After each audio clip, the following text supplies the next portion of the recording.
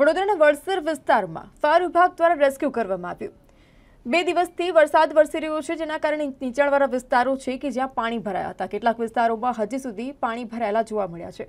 વડસર વિસ્તારમાં પાણીનો ભરાવો થતાં ફાયર વિભાગ દ્વારા એક સરાહનીય કામગીરી કરવામાં આવી છે.